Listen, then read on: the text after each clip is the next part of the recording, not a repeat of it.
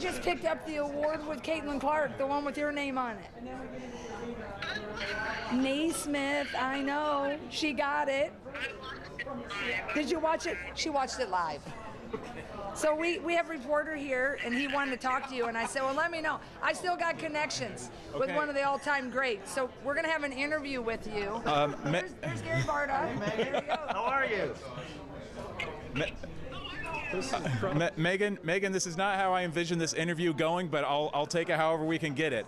Um, you said that you were you were watching the the video happen live. Can you just tell me what you were thinking when you heard Caitlin's name called?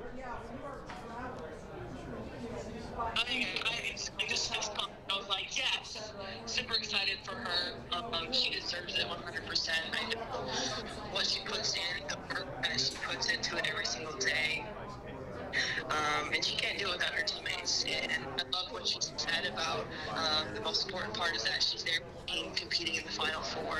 So I'm just so happy for her and for the team and for the coaches and everything that's been put into that award. Um, You know, it's not just an individual award; it's a team award for sure.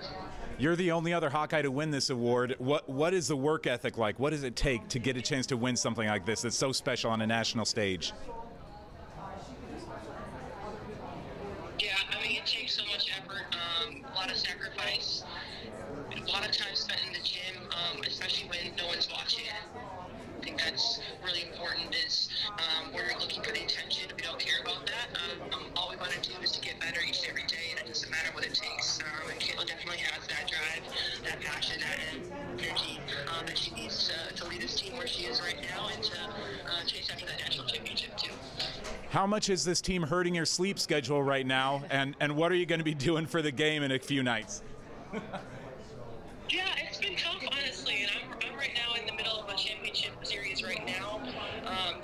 Worked out a little bit. It's coincided with my off days, um, so that's been super nice. But um, I actually have a game tomorrow, and I'm really excited for that.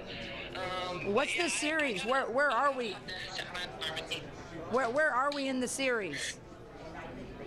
Uh, game two tomorrow. Actually, technically game four because the regular season games counted. Okay. Two one. Looking for two more wins. All right, let's Ma- go. Megan, last thing, can I get a prediction for Friday night? What are you thinking is going to be the final uh, point spread between the Hawkeyes and Gamecocks?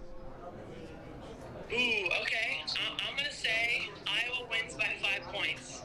Yes, sir. Way to go, Megan. Wish we could throw you in. Thank you so much, Megan. I appreciate you staying up late for us.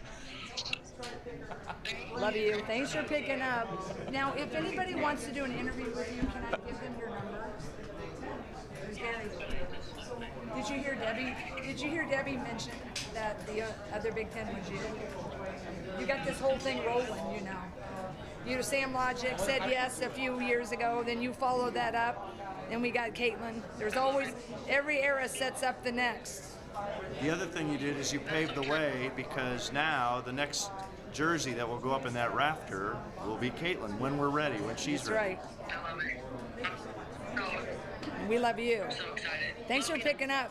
And of course you'd be watching this. That that got me all teared up.